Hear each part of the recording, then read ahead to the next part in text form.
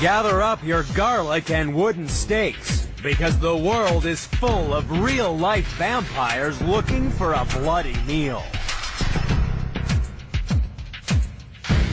We're counting down the top 10 most extreme bloodsuckers in the animal kingdom and comparing them to human horrors like Dracula. Discover who's having the ultimate liquid lunch when bloodsucking is taken to the most extreme. Earth is a planet of extremes. Extreme places and extreme animals. But some animals are more extreme than others.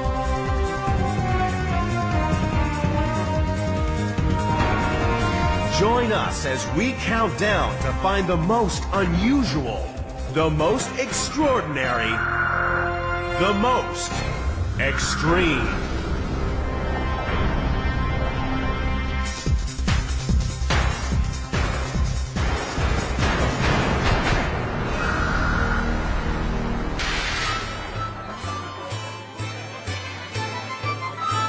A healthy human eats about a half a ton of food each year. We're omnivores that digest a wide range of plant and animal material to obtain the essential nutrients we need to grow. But no living human could survive for long if they drank nothing but blood.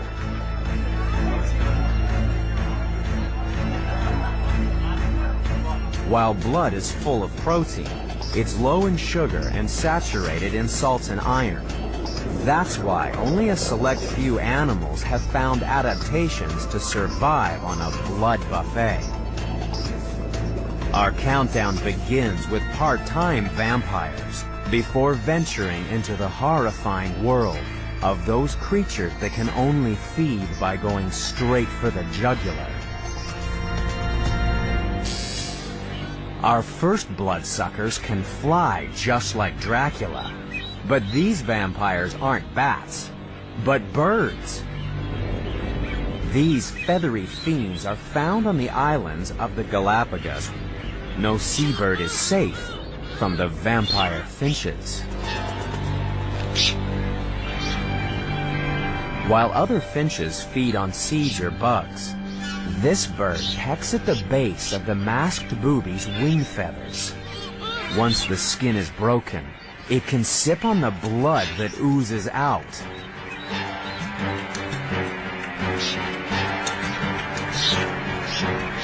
Other vampires queue up behind the booby blood bank. The finches of the Galapagos were made famous by Charles Darwin as evidence for his theory of evolution.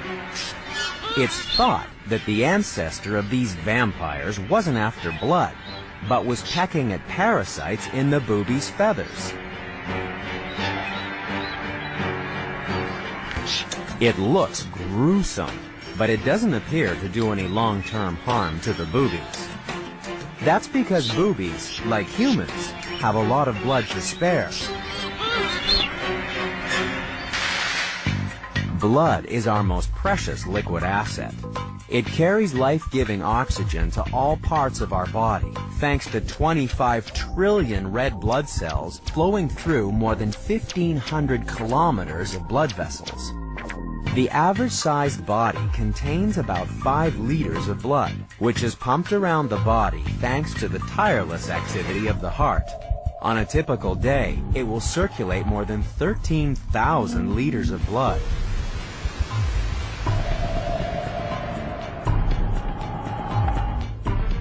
That means in a single year, your heart pumps enough blood to fill the fuel tanks of not one, but 10 jumbo jets.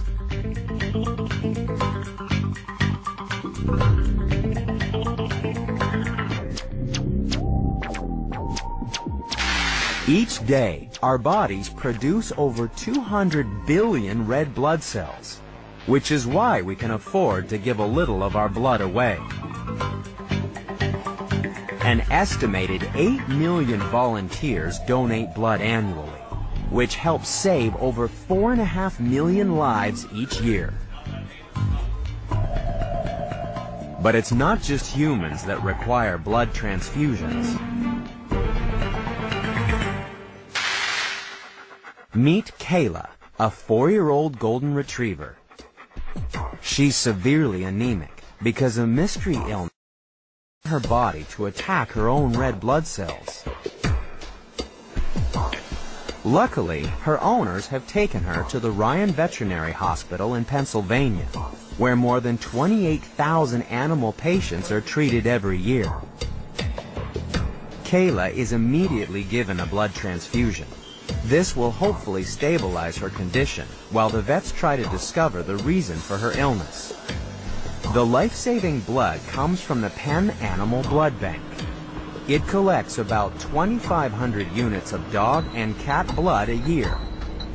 That's why staff take the Bloodmobile out three or four times a week to visit more than 1,000 donor dogs every year.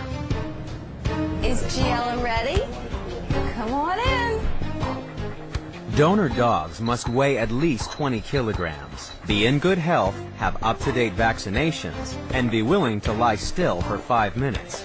Are you cute? If it wasn't for these donors, dogs like Kayla wouldn't stand a chance. It took 10 days and multiple blood transfusions to get her back on her feet and ready to return home. But back on the Galapagos, the vampire finch makes use of the masked booby as a mobile blood bank. The finch uses the blood as a dietary supplement to help it survive during long periods of drought. And that's why the vampire finch is only number 10 in the countdown. As a part-time bloodsucker, it's no match for the die-hard vampires that could drink Dracula under the table any day.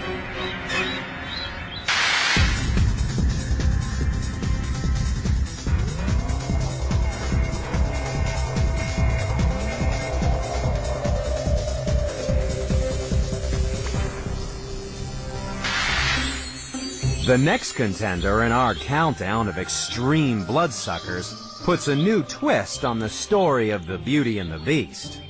After all, what other animal is as beautiful and totally harmless as the butterfly? There are more than 28,000 different species of butterfly, and most of them delicately sip nectar from flowers using the coiled straw called a proboscis. But in Spain, there's one butterfly that holds a dark secret.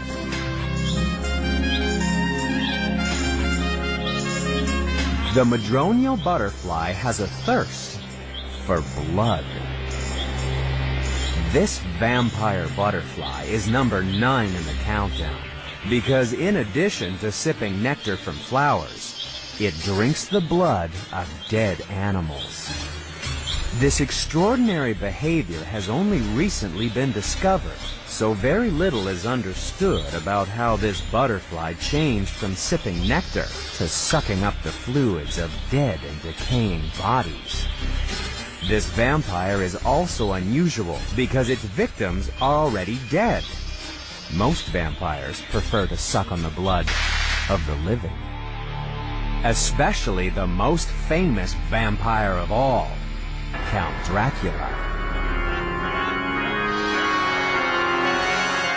The vampire legend began in Eastern Europe, where blood-sucking creatures were once thought to be the souls of the dead that rose from the grave and wandered about the night to drink blood from the living. The vampire tradition survives today the dark streets of New Orleans are home to a modern vampire, Tony Parker.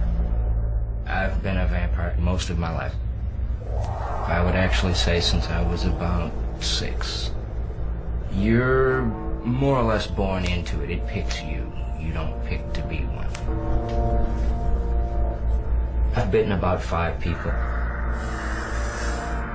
It was consensual. Usually we dated and either lived together or were just long-term partners.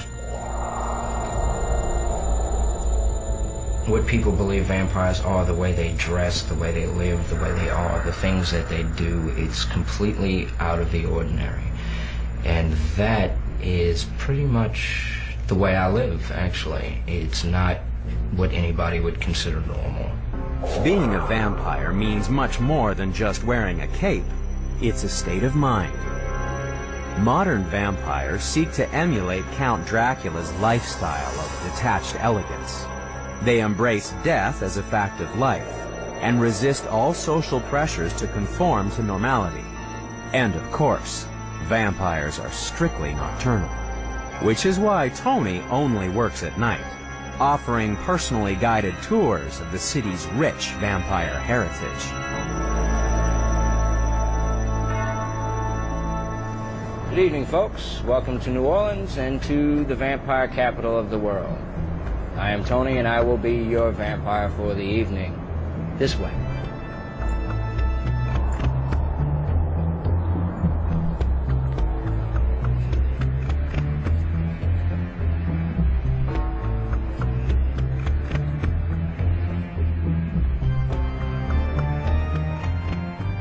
The highlight of the tour would have to be the ending. Once we've finished and we've told everyone the stories and the facts and the history, the looks on their faces, some are shocked, some are amazed, some are appalled, and some of them are so intrigued that we know that they're going to be back. And those may be the ones that are what we are. They just don't know it yet. It's hard to know what it would take to become a vampire. After all, who would have believed that something as beautiful as a butterfly would develop a craving for blood?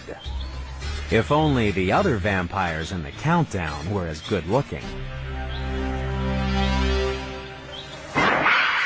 Our first two contenders have barely dipped their toes into the blood-sucking lifestyle. Because coming up is an animal that knows all too well that blood is thicker than water. And later, we'll discover a bloodsucker that's a real pain in the neck. That's coming up on the most extreme.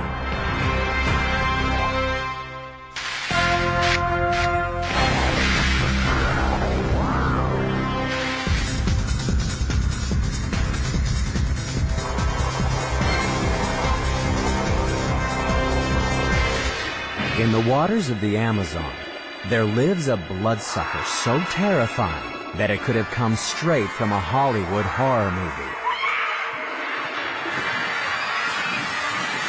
There's something strange in the water, something you can't see, something you can't feel until it's too late.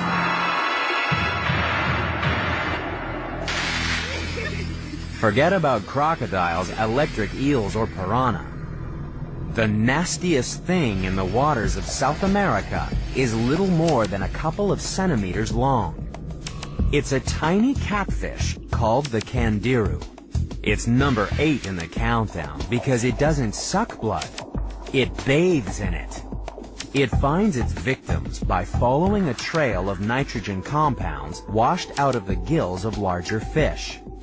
Then it waits for an opportunity to slip in beside the rich blood vessels hidden beneath the fish's gill cover.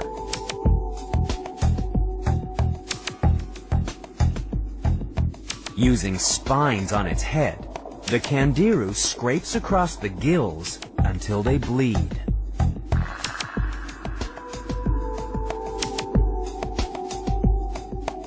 It only takes a few minutes to drink its fill, then it wriggles out to sink to the bottom of the river to digest its meal. But what makes this vampire scary is that the nitrogen excreted by fish gills is very similar to that found in human urine. This can confuse a candiru, leading to a painful case of mistaken identity. This fish was surgically removed from the inside of a human urinary tract It takes a delicate bit of doctoring to extract a fish lodged inside the most private parts of your body. But the Candiru isn't the only creature to enjoy blood baths. The ancient Egyptians thought blood carried the essence of life, so bathing in blood was seen as the ideal pick-me-up. Roman gladiators regarded blood as the ultimate energy drink. They would gain strength by drinking the blood of their fallen opponents. Some people still drink blood today. In Africa, the Maasai don't drink the blood of humans. Instead, they get a good proportion of their nutrition from the blood of their cattle. These revered animals are carefully bled so that the cows come to no harm. The blood is often mixed with milk to produce a drink that the Maasai believe gives them great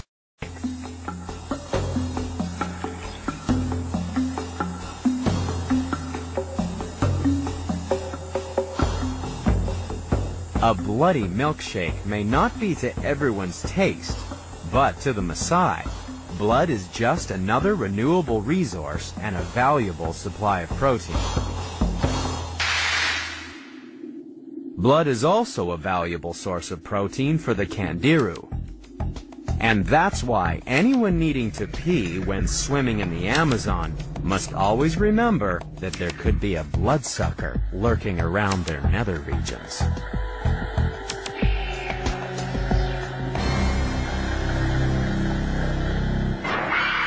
So far, we've drunk like fish and met a bloody butterfly. But still to come, we'll discover the real reason that vampires have fangs.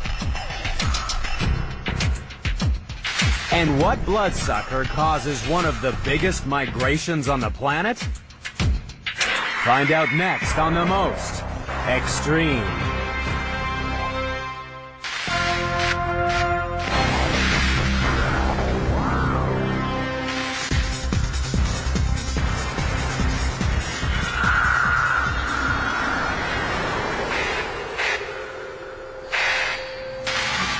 Swooping in to number seven in the countdown is the infamous vampire bat. But you won't find these bloodsuckers in Transylvania. Real vampire bats are found in South and Central America. They prefer working with cows instead of Hollywood actresses. There may be much less screaming, but there are other unexpected health hazards. You can get buried in your work. Literally. Vampire bats have unique heat-sensitive pits in their nose, which means that they can find where blood is closest to the surface.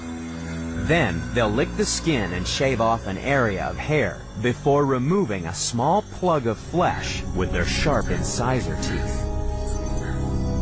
So if real blood-sucking bats use their incisors for biting, why are human vampires always shown with enormously long canine teeth?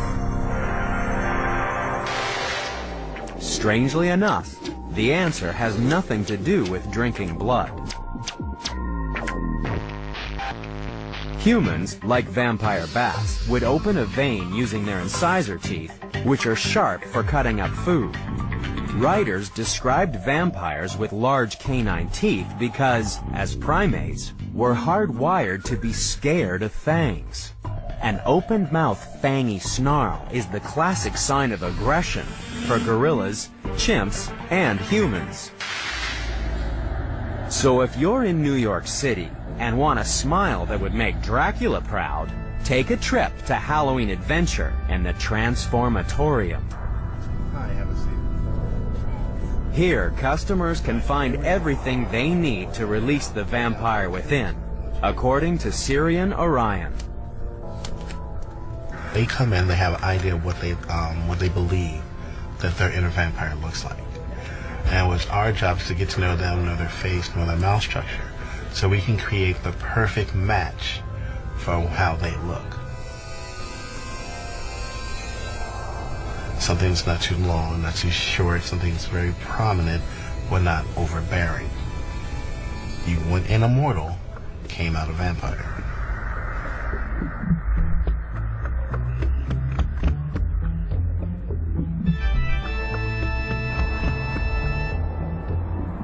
Thanks to custom-made teeth, a little makeup, and designer contact lenses, this vampire is dressed to kill. It's time to meet kindred spirits congregating at a vampire nightclub. And the modern vampire is about mainly just living a lifestyle. Everybody knows you don't live forever. You don't turn to a bat. You don't have to go, I need this unnatural craving for blood. Real bloodsuckers have a different way of having a good time. Real vampires don't suck blood. They lick it up with their tongues. A vampire bat can swallow up to five teaspoons of blood, which is a lot of fluid for an animal about the size of a mouse. Imagine if we had the specialized blood-sucking ability of the vampire bat. We'd be able to drink our own body weight in blood every day.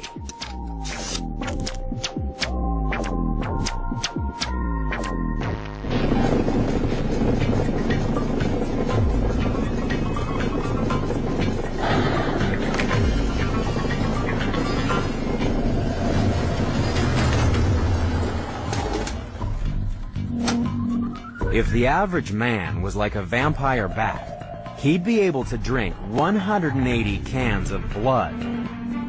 But there's a problem with drinking that much liquid. The main constituent of blood is plasma, a clear fluid that takes up an awful lot of room in the stomach and provides little nutritional value. That's why having filled its stomach, this extreme bloodsucker becomes an extreme urinator. It's the quickest way of getting rid of excess weight so that they can fly away. The vampire bat is number seven in the countdown because it has other adaptations for its bloody lifestyle. Compared to other bats, its stomach wall is thin and stretchy. It also has far more capillaries around the stomach to increase the absorption rate of the nutrients. These vampires will risk being pecked because they're always hungry. The bats can't go two nights without food or they'll starve to death. So while each individual drinks only a little blood, your average colony of 100 vampire bats would, in one year, drain all the blood out of 14,000 chickens. And sometimes they feed in the most uncomfortable places.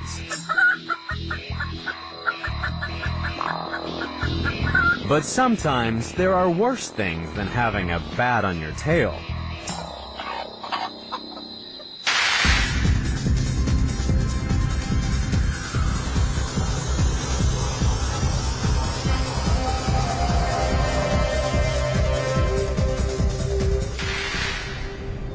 The next contender in our countdown of extreme bloodsuckers really has a nose for trouble.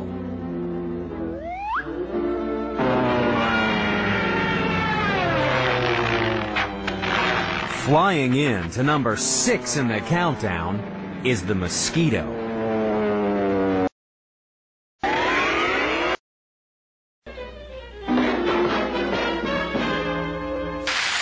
Most of the time, male and female mosquitoes feed on sugars from plants. But when the female wants to breed, she needs blood. So every mosquito that's ever bitten you has been female. And she fancies some people more than others.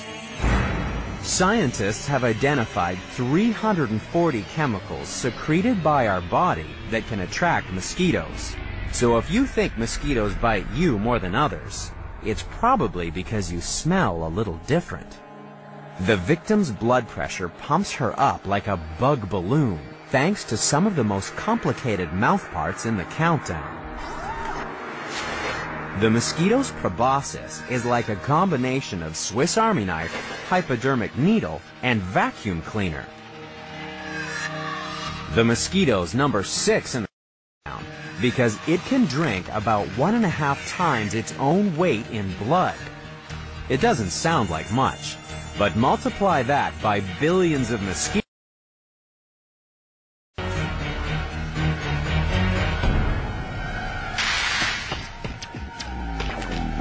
Imagine being surrounded by a swarm of bloodthirsty females. Some people have recorded suffering 9,000 mosquito bites per minute. At that rate, you'd lose half the blood in your body in less than two hours. But some people pay to be bled for the good of their health. Finland is the home of the sauna. For thousands of years, people have used these steam baths to cleanse and heal the body. And in some places, you can still experience the safe, modern version of a very ancient practice. There was a time when doctors from Asia to Europe would treat everything from headaches to constipation by letting out a little blood.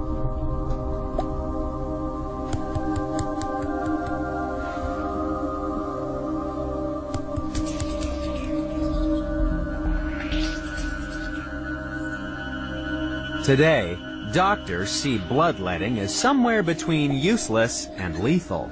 But in some parts of the world, the tradition continues. And it's certainly more pleasant than being bled dry by a swarm of hungry mosquitoes. Mosquitoes are so annoying that they contribute to one of the greatest migrations on the planet. Caribou born in the Arctic summer are plagued by hordes of mosquitoes. So to shake off the attackers, hundreds of thousands of caribou bunch together because individuals are tormented less in a crowd. When the insect plague is at its worst, the caribou herds are constantly on the move and can travel up to 60 kilometers a day, further than at any other time of the year. Being mustered by mosquitoes may be annoying, but at least you can hear them coming to get you, unlike our next contender. If the last two pesky bloodsuckers have driven you a little batty, get ready for a horrible surprise as we open the door on the next slimy suckers. And later, we'll discover a bloodthirsty assassin that strikes in the night. That's coming up next on The Most Extreme.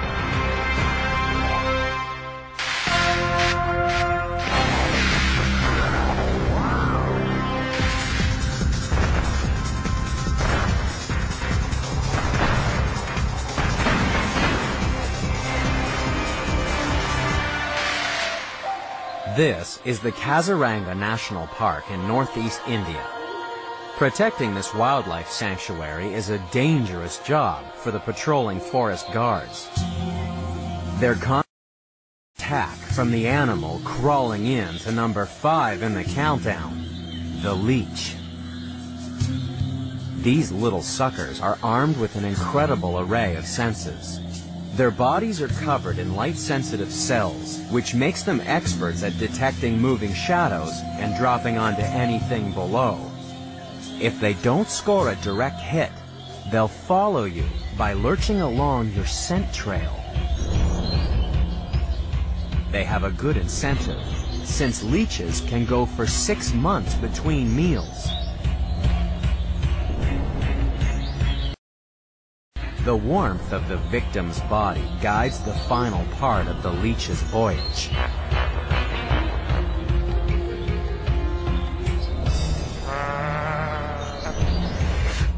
Leeches have three jaws and 300 teeth that effortlessly slice through your skin. The leech is number five in the countdown because it can swallow five times its body weight in blood. The leech's incredible thirst was recognized by medieval doctors. At their peak, It's been estimated that each year, leeches sucked from patients more than one and a half million liters of blood. And it came from the most unlikely parts of the anatomy, according to collector of medical antiquities Dr. Doug Arbittier. Leeching was done on essentially any part of the body. And um, this is a 19th century leech applicator tube, actually a pair of them. These tubes have a hole in either end, and they were used to put um, in regions of the body that uh, were fairly difficult to get a leech to cling to uh, normally. For example, they were placed in the rectum, um, around the uh, cervix, uh, in the nostril, and uh, the leeches were then um, placed on the edge, and they would crawl right up and attach to where uh, you wanted the patient bled. Strangely enough, leeches are still sucking blood in hospitals today.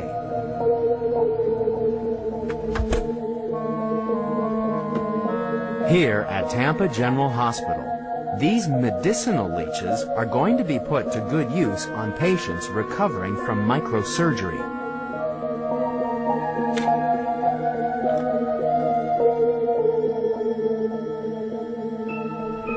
Hi, Lynn. Hey, Dr.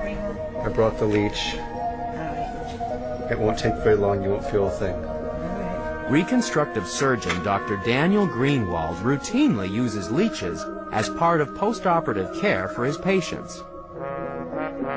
Historically, the leeches were used to draw off the evil humors. The, the theory of health back in those days was that you had good humors and bad humors, and they tried to affect the balance of health, like if you had a bad fever, by drawing off your blood. That understanding of biology was incomplete at best, and that treatment was discarded because it obviously didn't do anything. Today, doctors make use of the leech's sucking abilities to get rid of excess blood and reduce the swelling that can occur after an operation.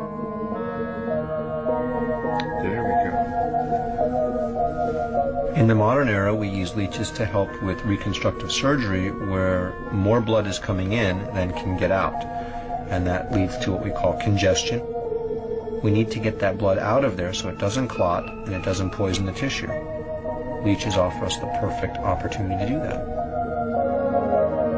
A hungry leech actually promotes healing. By reducing the congestion of pooled blood, it allows fresh, oxygenated blood to reach the wound until normal circulation is restored. I think this guy is done, Lynn. I'm going to pull him off, and then we'll have you hold some pressure with the guard. The nurse comes and puts a dressing on you, okay? Okay. Okay, you shouldn't feel a thing. While not everybody may like the idea of having a blood-sucking worm on their body, it's still a remarkably effective way of saving an appendage. Other animals have more to lose if they're attacked by a leech. In some ponds, medicinal leeches can literally suck the life out of a helpless frog. It's a terrible way to die, but there's much worse to come in the countdown.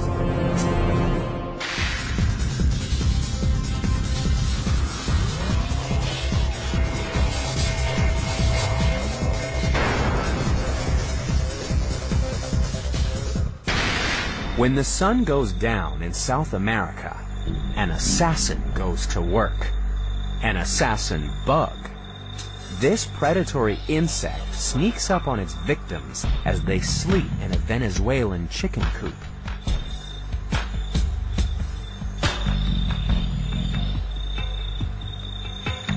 It's an easy meal, except when you choose the only insomniac in the flock.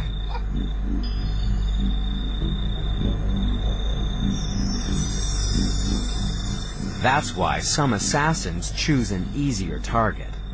Even in complete darkness, the bug can pinpoint where to bite because it's equipped with precision heat sensors. You feel nothing as it drives in its long proboscis because it's coated with an anesthetic. Anti-clotting chemicals keep the blood flowing as contractions of its abdomen suck fluid from your body. Lots of fluid. The assassin bug is number four in the countdown because it can drink more than six times its own body weight in blood. Yet the assassin bug isn't the only secretive bloodsucker in Latin America. Since the 1950s, there have been reports of a vampire-like creature that kills goats and chickens. Usually there's no evidence of a struggle, just two or three puncture marks. The victims are drained of blood, but otherwise left intact. The mystery creature was called chupacabra, which literally means goat sucker.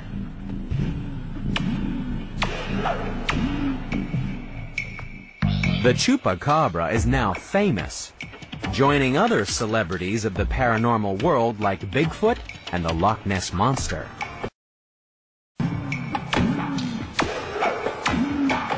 People are fascinated by the mysterious murders. And until there's a convincing explanation for the deaths of so many animals, there will always be believers in the chupacabra. You may think the assassin bug is just too small and too secretive to be scary, but you might have a different opinion if you watched it spend 30 minutes drinking blood from your finger. Forget about awful assassins and lousy leeches. There are bloodsuckers coming up in the countdown that have come straight from your worst nightmares. How much you clean up the house. There's one animal that's just bursting to get under your skin. That's coming up next on The Most Extreme.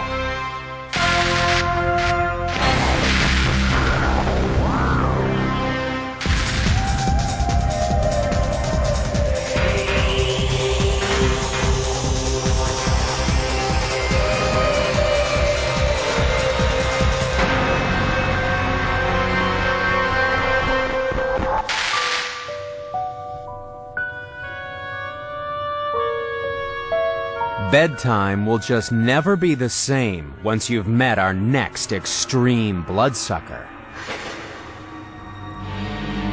Crawling in to number three in the countdown is the bedbug.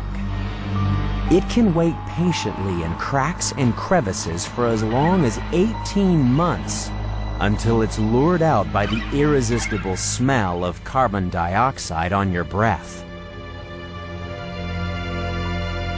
Their activity is usually timed to the sleeping cycle of humans, so they scurry about the bed sheets unnoticed in the dark hours of the early morning.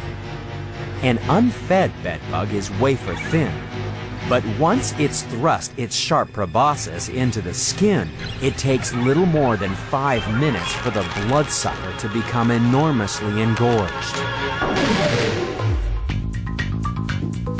Bedbugs are number three in the countdown because they can drink more than seven times their weight in blood. Your average human never dream of drinking that much fluid.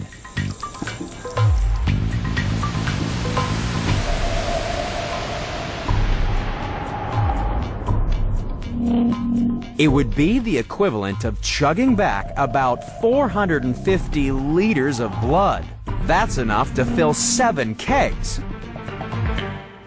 If the thought of that much blood is enough to make you a little squeamish, then you'll really love the story of one of the earliest recorded blood transfusions. In Paris, back in 1667, doctors thought that a madman could be cured if he was infused with blood from a cow. It's a nice, gentle animal, and the theory was gentleness would be transferred in the blood. So they strapped down the cow and the madman and connected their veins. The patient immediately started passing black urine and suffered a seizure. But apart from that, he was fine. Similar experiments were being done all over Europe, including transfusions of things like milk and wine. The biggest problem was that when blood was transferred from human to human, half the patients died. Today, we know that the problem lay in the presence or absence of two proteins on the red blood cells that result in four distinct blood groups. Transfused blood of the wrong type and the patient's immune system thinks it's an invader and destroys the blood cells. That's why transfusions were just as likely to kill as cure. But the bedbug has no such worries because it will happily feed on any blood type, just like our next contender. So when you go to bed tonight, sleep tight and don't let the bedbugs bite.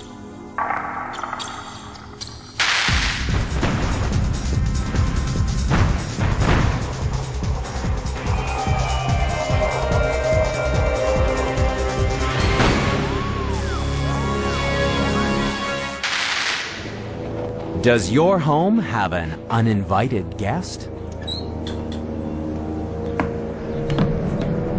Look closely down in the carpet fibers, and you may find the larvae of our next contender. They won't suck your blood. They're perfectly happy feeding on lint, dead skin cells, and the dry droppings left behind by mom and dad.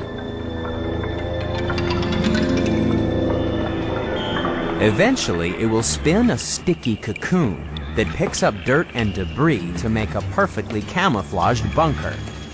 It can lie here dormant for a year or more, waiting for a host to arrive. Then, vibrations on the floorboards signal that it's feeding time for the animal that's number two in the countdown. The flea has very limited eyesight. Instead, sense organs on its antenna detect movement and increased concentrations of carbon dioxide that signal that a host is nearby. Then, it's time to show why, relative to their body length, fleas are the best jumpers on the planet. A flea can jump 150 times its body length. That's like a human leaping over 200 meters.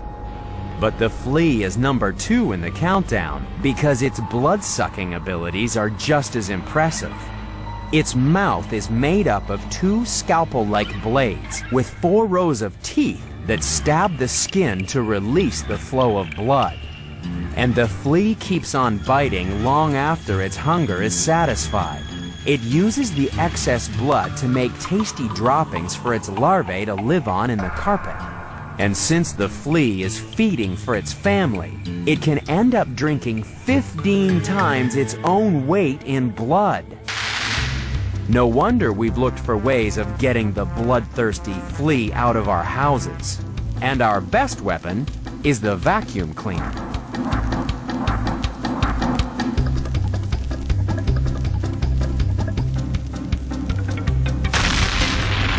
Vacuuming sucks up flea eggs and larvae so effectively that in northern Europe, the human flea is now more commonly found in the nests of alternate hosts, like badgers and foxes, than in our houses. Unfortunately, there's no such simple solution to thwart our final, terrifying bloodsucker.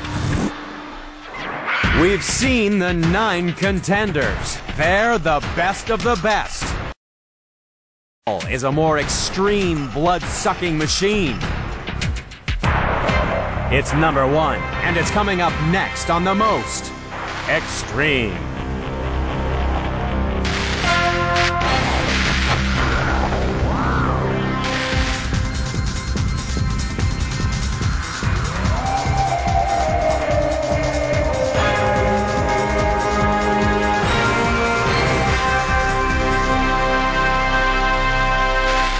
The animal at number one in our countdown of extreme bloodsuckers is one of the world's most annoying creatures.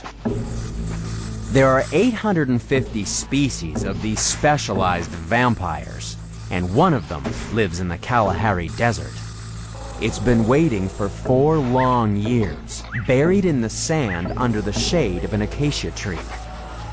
It's just a matter of time until a large mammal uses the tree as a sunshade and that's when it launches its attack. Scuttling in to number one in the countdown is the tick. This tampan tick is an eight-legged relative of the spider. with an incredible lust for blood. Some species may only be a few millimeters long, but they will crawl more than 18 meters as they run down their host.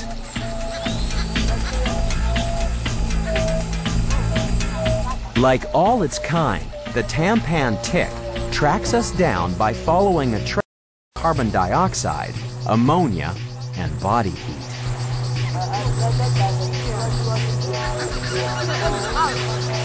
Ticks select the best place to feed by sensing heat from the blood vessels closest to the surface. Then they drink.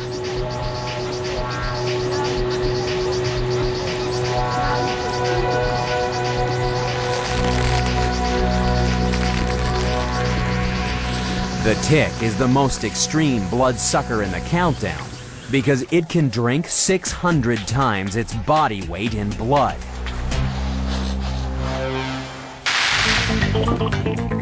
Imagine if we could drink like a tick.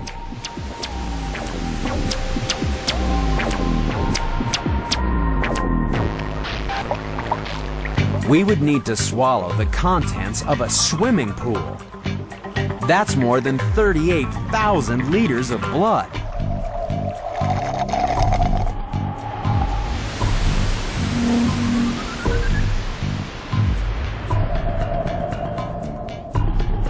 There is one man who came close to sucking up blood like a tick.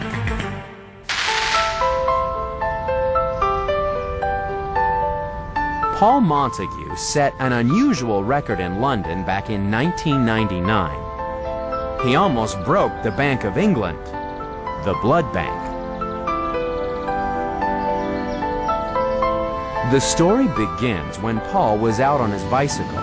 He stopped for a red light, but a truck in the same lane didn't.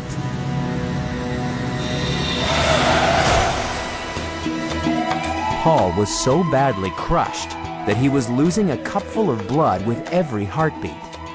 A human can only lose about 2 liters or 40% of the blood in the body before it shuts down. But luckily, help was at hand. Doctors kept Paul alive by pumping in blood. Lots of blood. By the time doctors managed to stop the bleeding, Paul had received more than 200 liters of blood. The story has a happy ending because Paul survived his ordeal and even married his nurse. Those bitten by ticks are usually not so lucky. Even the king of the beasts falls prey to the most extreme bloodsucker in the countdown. The lion's only defense against ticks is its tongue. Because if a tick finds a spot that can't be licked, it can latch on for several days.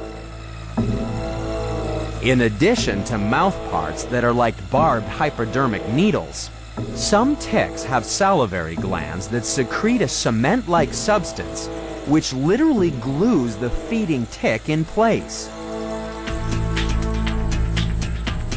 Only when its body has expanded to several hundred times its normal size will it dissolve the cement holding it in place and drop back to the ground to digest its extraordinary meal.